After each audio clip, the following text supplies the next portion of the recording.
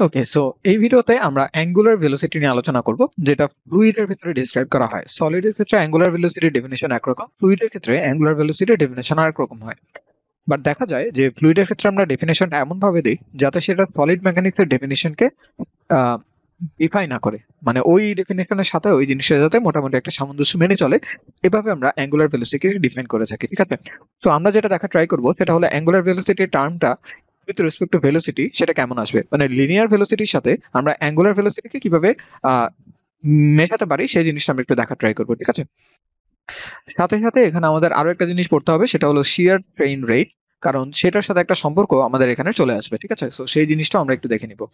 তো প্রথমত আমরা একটু দেখে নেই যে এটাকে ডিফাইন করা হয় কীভাবে? ডিফাইন করা হয় এভাবে অলমোস্ট যে আমাদের একটা পয়েন্টে দুইটা ফ্লুইড লাইন থাকতে হবে, ঠিক আছে? একটা পয়েন্টে কি থাকতে হবে? দুইটা ফ্লুইড লাইন থাকতে হবে। সো আমরা ধরলাম এটা হলো আমাদের সে পয়েন্ট সে পয়েন্টে দুইটা ফ্লুইড লাইন আছে এইরকম এবং এরকম। ঠিক আছে? তাদেরকে আমরা একটু নামকরণ করে দিই। সাপোজ এই পয়েন্টটা হলো আমাদের পি এই পয়েন্টটাকে আচ্ছা আমি এ এবিসি দিয়ে নামকরণ করি।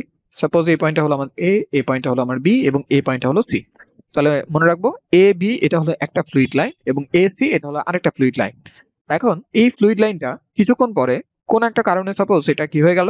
এটা ডিফর্ম হয়ে এই জায়গায় চলে আসলো। ঠিক আছে? এই জায়গায় চলে আসলো। আমাদের এখানে যে ফ্লুইড লাইনটা সেটা ডিফর্ম হয়ে এই জায়গায় চলে আসলো। তাহলে এই জিনিসটা সরলো কোন দিকে? এই জিনিসটা সরলো এদিকে। আমরা ধরলাম যে এটা ডি আলফা পরিমাণ অ্যাঙ্গেল সরে গেল। আর এইটা কি পরিমাণ অ্যাঙ্গেল সরলো? এটাকে আমরা ধরলাম যে ডি থিটা পরিমাণ অ্যাঙ্গেল ছিল ওকে এবং এই যে স্মরণটা হলো, এই স্মরণটা পুরোপুরি ডিটি সময় হয়েছে। এটা আমরা অ্যাজিউম করলাম।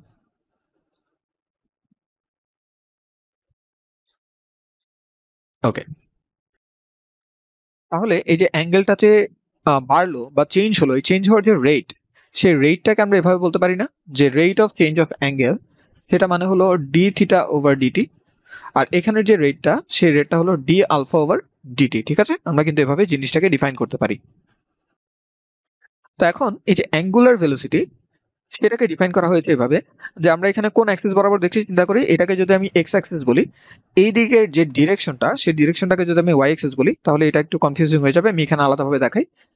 যে আমার এদিকে যে ডিরেকশনটা সেটা হলো পজিটিভ এক্স অ্যাক্সিস এবং এদিকে যে ডিরেকশন সেটা হলো পজিটিভ ওয়াই অ্যাক্সিস তাহলে যে এক্স আর ওয়াই তলে যেহেতু হচ্ছে, তাই এটাকে আমরা নাম দিলাম ওমেগা এক্স ওয়াই এটাকে ডিফাইন করা হয় এভাবে যে average rate of change of fluid lines ঠিক আছে? Average rate of change of angle of fluid line তাহলে এই যে ফ্লুইড লাইন দুটা যে আছে, এদের চেঞ্জের আমাদের অ্যাভারেজ করা লাগবে।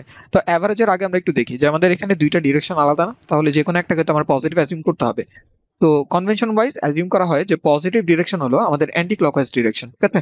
তো অ্যান্টি ক্লকওয়াইজকে আমরা কি অ্যাজিউম করি? পজিটিভ অ্যাজিউম করি। তো সেটা যদি আমরা অ্যাজিউম করি, এখানে দেখতে পাচ্ছি এটা কিন্তু অ্যান্টি ক্লকওয়াইজ আছে রাইট এই যে অ্যান্টি ক্লকওয়াইজ এভাবে ঘুরছে, ঘড়ির কাটার বিপরীত দিকে। তাহলে এইটা আমাদের পজিটিভ হবে সো আমরা বসাই ডি থিটা ওভার ডিটি আর এই যে ডেফিনেশনটা সেটা কি হবে? নেগেটিভ হবে। তাহলে অ্যাভারেজ করার জন্য আমরা যোগ করব বাট ভ্যালু ওয়াইজ এটা কিন্তু নেগেটিভ তো ডি আলফা ওভার ডিটি আমরা এরকম বসিয়ে দিলাম। আর নিচে আমাদের কি করবে? অ্যাভারেজ করার জন্য এখানে একটা টু বসবে। তো এটাকে যদি আমরা আরেকটু সুন্দরভাবে লিখতে চাইতাম, তাহলে আমরা এমন আসতো যে half D theta over DT minus D alpha over D T তো এটাকে আমরা বলব ওমেগা এক্স ওয়াই অনেক সময় এটাকে আমরা ওমেগা জেড নামেও রিফার করে থাকি, যেহেতু আমার পুরা জিনিসটা, পুরা রোটেশনটা এই যেভাবে যে রোটেশন হচ্ছে বা সামথিং এই রোটেশনটা কিন্তু আমাদের এই দুইটা অ্যাক্সিসের পারপেন্ডিকুলার যে অ্যাক্সিস সেটা বরাবর হচ্ছে। অর্থাৎ আমরা চিন্তা করতে পারি এইভাবে যে এটা যদি আমার জেড অ্যাক্সিস হতো, তাহলে আমার এদিক বরাবর কি আছে? এক্স অ্যাক্সিসটা আছে এবং এদিক বরাবর ওয়াই অ্যাক্সিসটা আছে এবং পুরো জিনিসটা কিন্তু এইভাবে রোটেট করছে রাইট সো জেড অ্যাক্সিসের রেসপেক্টে যেহেতু রোটেট করছে, সেই কারণে আমরা মাঝে মাঝে এটাকে জেড নামেও দেখে থাকি। আচ্ছা তাহলে ডেফিনেশনটা একটু ক্লিয়ার করি যে আমাদের শুরুতে একটা পয়েন্টে দুইটা কি থাকবে? ফ্লুইড লাইন থাকবে। সেই ফ্লুইড লাইন দুইটা কি হতে হবে? পরস্পর পারপেন্ডিকুলার হতে হবে। এই ফ্লুইড লাইন দুইটার অ্যাঙ্গেল চেঞ্জ হওয়ার যে অ্যাভারেজ রেট সে অ্যাভারেজ রেটটাকে আমরা বলি অ্যাঙ্গুলার ভেলোসিটি তো এটা হলো আমাদের অ্যাঙ্গুলার ভেলোসিটির জাস্ট এই জেড অ্যাক্সিস বরাবর যে কম্পোনেন্টটা থাকে সেই কম্পোনেন্টটা ঠিক আছে? তো এটাকে আমরা এক নম্বর ইকুয়েশন নাম দিই। আমরা কি করব এখন? এই যে ডি থিটা বাই ডিটি আর ডি আলফা বাই ডিটি এই দুটা জিনিসকে একটু বের করার ট্রাই করব সে স্ট্রেন রেট থেকে। তো স্ট্রেন রেটের টপিকটা আমাদের খুব ভালোভাবে নাই আসলে বাট যেটুকু আছে সেটুকু আমরা একটু দেখার ট্রাই করি ওকে ওকে তো ট্রেন রেটের প্রুফটা যদি আমরা দেখতে চাই, আমাদের দুইটা চিত্র লাগবে এবং সেই দুইটা চিত্র থেকে আমরা প্রুফটাকে করে আনব। আমি আলাদা একটা পেজে করি। আচ্ছা তো আমরা যেটা করব, আমরা ছোট্ট একটা ফ্লুইড এলিমেন্ট নিব এবং আলোচনাকে সহজ রাখার জন্য আমরা কি করছি, যে টু ডি অবস্থাতেই ফ্লুইড এলিমেন্টটাকে নিচ্ছে, ঠিক আছে? এটা হলো আমাদের ফ্লুইড এলিমেন্ট তো সেই ফ্লুইড এলিমেন্টটা যেহেতু খুবই ছোট, তাই এখান থেকে এতটুকু যে ডিস্টেন্স সেটাকে আমরা এক্স নামে ডিসক্রাইব করছি। এবং এইখান থেকে এতটুকু যে ডিস্টেন্স সেটাকে আমরা ডি ওয়াই নামে ডিসক্রাইব করলাম। ওকে তো এখন এই ফ্লুইড এলিমেন্টের উপর তো অনেকগুলো ফ্লুইডের কণা আছে। তো আমরা ধরলাম, এখানে একটা কণা আছে আমাদের, এখানে একটা কণা আছে। আসলে কণার মাধ্যমে আমরা ফ্লুইডের একটা পার্টিকেলকে বোঝাচ্ছি যে পার্টিকেলের ভেলোসিটি সম্পর্কে আমরা একটু আইডিয়া করতে চাই। তো এই দুইটা আমাদের তেমন একটা লাগবে না। আমাদের জন্য যেটা ইম্পর্টেন্ট সেটা হলো এইটা এবং এইটা। ঠিক আছে? এই দুইটা আমাদের জন্য একটু ইম্পর্টেন্ট ওকে তো ধরলাম যে আমাদের এই দিক বরাবর আমাদের ফ্লুইডটার যে ভেলোসিটি সেই ভেলোসিটিটা হলো ইউ ইউ কেন? কারণ এক্সের ডিরেকশন আছে, তাই আমরা ইউ ধরলাম। তো যতই আমি উপরের দিকে যাব, আমার ভেলোসিটি কি সেম থাকবে? সেম থাকবে না কিন্তু ভেলোসিটি চেঞ্জ হয়ে যাবে। তো ভেলোসিটি চেঞ্জ হওয়ার যে রেট সেটা কোন দিক বরাবর হচ্ছে? ওয়াই বরাবর হচ্ছে রাইট ওয়াই বরাবর ভেলোসিটি চেঞ্জ হচ্ছে। তো আমরা ধরলাম যে ওয়াই বরাবর ভেলোসিটি চেঞ্জ হওয়ার যে রেট সেটা হলো এরকম D U over D Y তাহলে যখন আমি ডি ওয়াই পরিমাণ যাব, তখন আমার টোটাল যতটুকু চেঞ্জ হবে, সেটা অবশ্যই রেট ইন্টু লেন্থ এটা হবে। So delta U over delta Y into DY এটা সমান সমান কি হবে আমার? ওয়াই অ্যাক্সিস বরাবর এক্সের ভেলোসিটি চেঞ্জ হওয়ার রেট তো এটাকে আমি এক জায়গায় একটু লিখে রাখি, কারণ পরবর্তীতে রিভিশন দিতে এটা আমাদেরকে কাজে দিবে অনেক। ওকে তো বেয়ার উইথ মি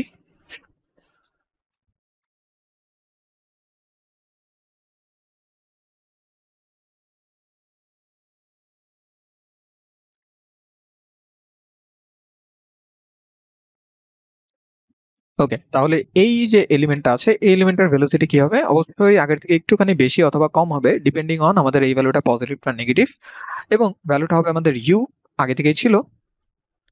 তার সাথে আমরা অ্যাড করে দিচ্ছি কি? Delta U over delta Y into D Y কে।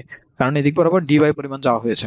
তো এটা আসলে আমাদের এদিকের ভেলোসিটি সেম কথা, এখন আমরা ওয়াই এক্সেস বরাবরের জন্য বলতে পারব। সো ওয়াই এক্সেস এইদিকে যে ভেলোসিটি সেটা হলো আমাদের ভি তাহলে এই দিকের যে ভেলোসিটি সেটা কত হবে?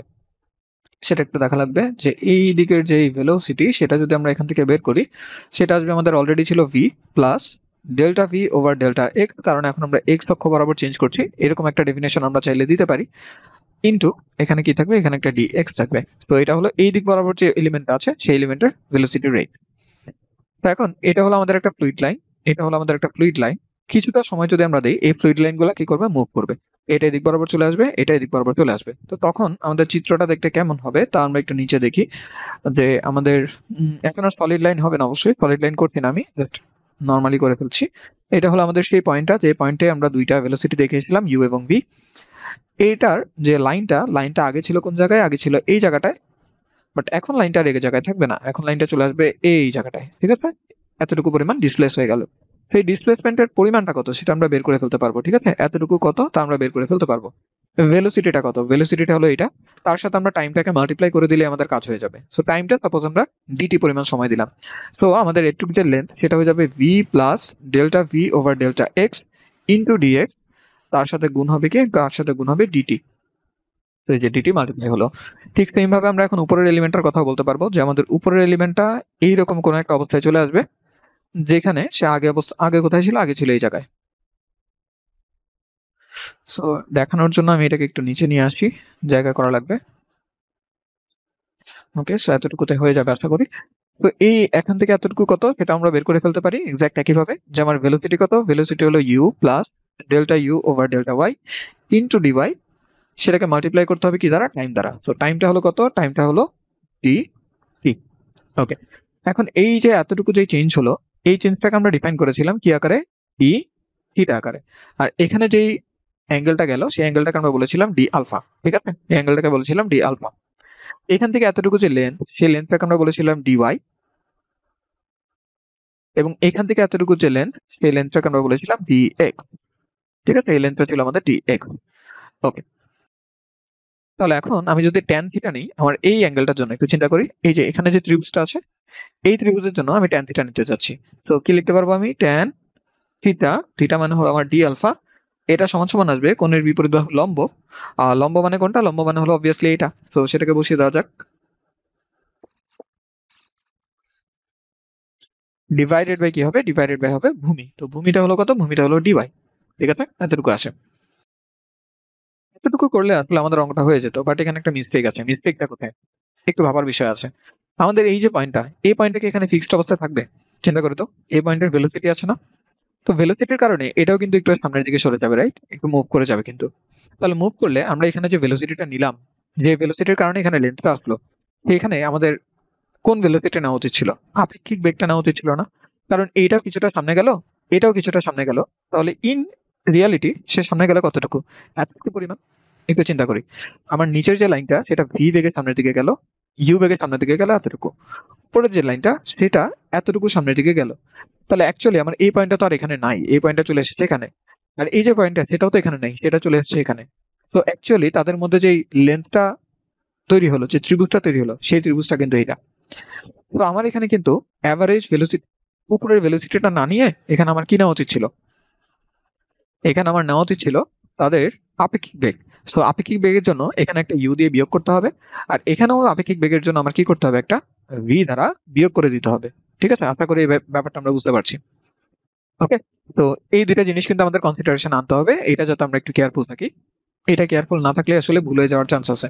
তো আমাদের এখানে ভি থাকল। তো সেম ভাবে আমাদের কি করতে হবে? এখানেও কিছুটা চেঞ্জ করা লাগবে। ঠিক আছে ডেলিভারেটলি একটু ভুল করা হয়েছিল, আশা করি বুঝতে পারছি কেন। কারণ এখন আমাদের একটু মনে থাকবে জিনিসটা ভালোভাবে। তো মাইনাস ইউ আমাদের এখানে একটা বসার কথা। ওকে তো এখন অ্যাঙ্গেলটা যেহেতু খুবই ছোট, তাই আমরা কি করতে পারি? আমরা ট্যান থিটাকে শুধু থিটা বলতে পারি। তো থিটাটা আমাদের এখানে ডি আলফা এটাই ইকুয়াল ডান পক্ষে কি থাকে? একটু মনোযোগ দিয়ে দেখতে হবে। ডান পক্ষে আমাদের এমন থাকছে যে delta U over delta Y into DY DT divided by DY এমন থাকে। তো এখানে আমরা ডিওয়াই আর ডিওয়াই যেহেতু ছোট ছোট দুইটা লেন্থ এই দুইটা দেওয়া তাহলে আমাদের এখানে থাকে কত? আমরা যদি ডিটিটাকে এই পাশে নিয়ে আসি, তাহলে আমার থাকবে ডি আলফা ওভার ডিটি এটা equal to delta U over delta Y ঠিক আছে? এমন একটা টার্ম আমাদের এখানে চলে আসে। এখন সিমিলারলি আমরা যদি ডি থিটা নিয়ে প্রসিড করতাম সো এখানে লিখে রাখি যে সিমিলারলি ডি থিটা নিয়ে প্রসিড করলে আমরা কি লিখতাম? আমরা লিখতাম ট্যান ডি থিটা এটা সমান সমান, কোণের বিপরীত বাহু অবশ্যই লম্ব হবে। সো ডি থিটার জন্য লম্ব হলো আমাদের এই পার্টটা এটা কাটাকাটি করে একসাথে বসিয়ে দিই যে delta V over delta X multiplied by D X তারপরে থাকবে কত? ডিটি এবং নিচে ভূমি হবে কত? ভূমি হবে ডি এক্স তো এখানে আমরা কি করতে পারি? কাটাকাটি করে দিতে পারি ডি এক্স আর ডি কে। সো কাটলে আমাদের এখানে একটা টার্ম থাকে, সেই টার্মটা কি হবে? ডি থিটা এটা ইকুয়ালস টু তাহলে এখানে থাকে delta V by delta X R DT ডিটিটাকে আমরা বাম পক্ষে ভাগ করে দিতে পারি। সো ভাগ করে দিলে আমার এখানে কি থাকে? এটা ডিভাইড হয়ে যাবে ডিটি দ্বারা। এবং এখানে আমার থাকবে delta V over delta X ঠিক আছে? তো, অনেক সময় আমরা যেটা করি, আমরা এখানে একটা মাইনাস চিহ্ন ব্যবহার করি এটা বোঝানোর জন্য যে এটা অ্যান্টি ক্লকওয়াইজ রোটেশন তো মাইনাস চিহ্ন হয় আমরা এখানে ব্যবহার করব, না হলে আমরা আমাদের এই ডেফিনেশনে ব্যবহার করব। ইদার ওয়ান ইজ ওকে যে কোনো একটাতে কিন্তু ব্যবহার করতেই হবে। হয় আমরা এখানে ব্যবহার করব, অথবা এটার মধ্যে ব্যবহার করব, ঠিক আছে? ও, আর একটা ব্যাপার হলো, এটাতে কিন্তু মাইনাস না মানে মাইনাসটা এখানে হওয়ার কথা, ঠিক? কারণ এটা হলো আমাদের আলফাটা আলফাটা আমাদের ক্লকওয়াইজ ঘুরছে। সো এটা আমরা চাইলে একটা নেগেটিভ ইউজ করতে পারতাম। তো লিখে রাখি